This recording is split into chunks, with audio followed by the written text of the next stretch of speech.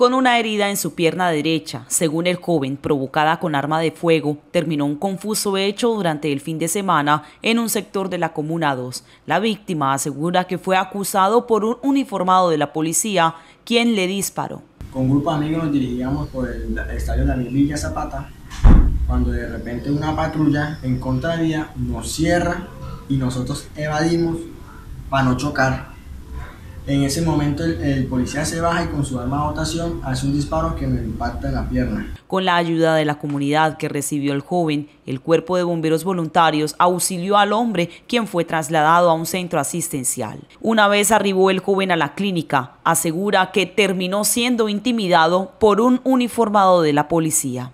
Cuando llegó al hospital, llega un policía con una pañoleta en la cara diciéndome que era mejor que me quedara callado porque él me acusa que yo estaba entregando panfletos, cuando lo que yo portaba en mi bolso son herramientas y útiles de barbería. Y él me amenaza y quiero que dé la cara y que salga todo.